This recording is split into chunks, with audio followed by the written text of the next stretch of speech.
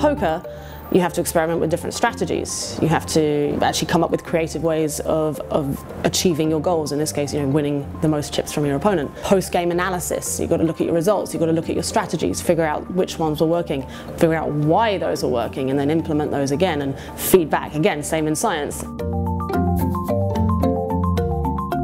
You've noticed something happening. Well, why is that happening? Is this person breathing really heavily? Is it because they've got a really strong hand, or is it because they've got a really weak hand, or is it because they've just drunk too much coffee? You've got to figure out sort of these, these different variables. You might observe, well, I've seen this star doing is doing this. How confident am I in in why that's happening? Same in poker. How confident am I that my opponent has gone all in and is bluffing? I'm about to risk all of my chips on this one thing. I've got to assess my confidence levels. There's a ton of crossover between science and, and poker.